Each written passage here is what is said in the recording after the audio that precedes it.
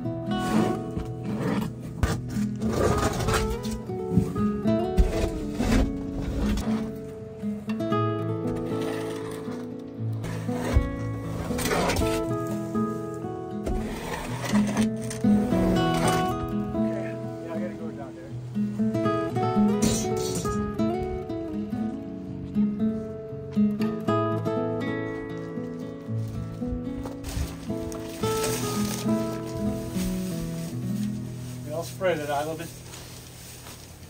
I think it's really good timing because it's supposed to get cold after today. Oh yeah. So perfect. get all the old wood chips out while it's warm so it was nice and loose. Right. And now it's gonna get cold and it'll help them to stay warm in here.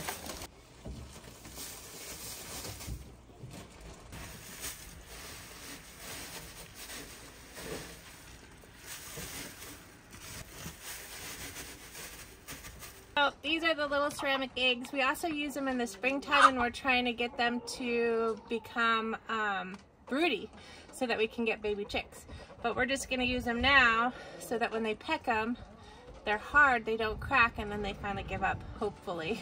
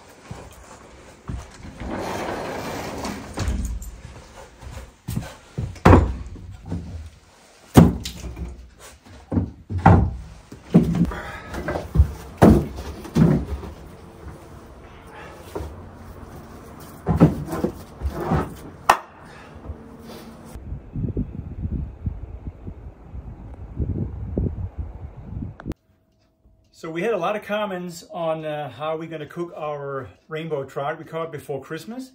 And we decided we're gonna do this here at the house. And uh, it is a rainbow trout. So typically what we do is we're gonna take one egg, put it in a plate, and then we'll just beat that egg So the yolk and the uh, egg white is all mixed together. And then we're gonna go ahead and put salt and pepper on our fish, like we did the last time at the cabin. So pretty much the same, except this time we're gonna use breadcrumbs.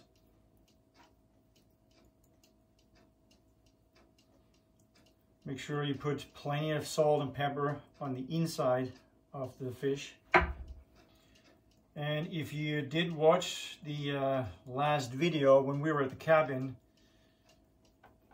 I personally love the skin. So I don't want to overdo it because I'm going to eat the skin. It's Actually, one of my favorite parts of the fish.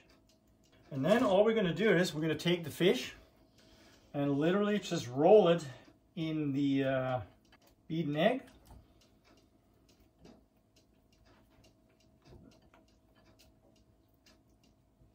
So that's that. We'll put this away.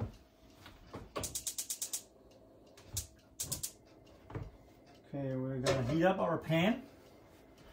And the last thing we're gonna do is, so I got breadcrumbs, and there's all kinds of different breadcrumbs. These ones are just breadcrumbs. There's no seasoning in there whatsoever.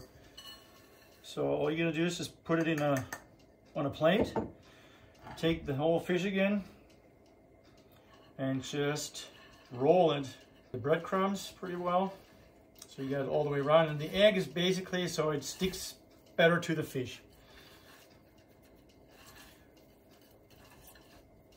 So we'll let it sit here for a little while and as soon as our pan, our oil in the pan is heated up, the entire fish goes in the pan.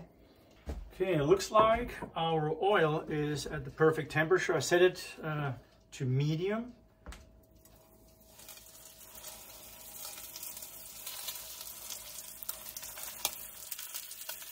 Gonna make sure we get enough oil in the pan so it doesn't stick to it.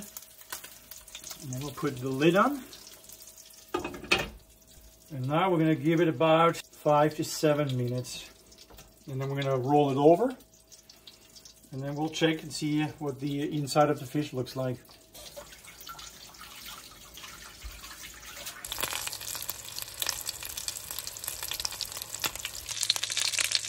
Both sides look very good now, but I did turn the heat down just a little bit so it's sitting in low.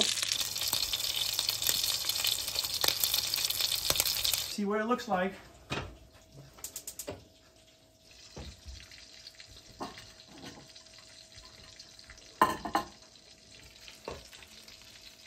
Mm. Smells good.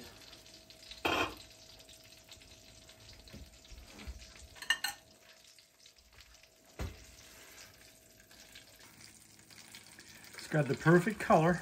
I just hope that the meat on the upper part of the fish is not too, not raw and the bottom not too dry. So what I did actually in the pan, I angled the fish just a little bit so the belly meat was um, not touching the pan bottom, but the top did. So we'll find out now.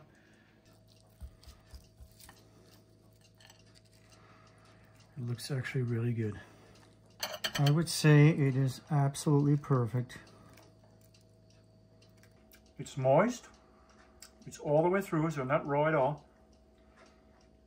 Mm -hmm. Turned out really well.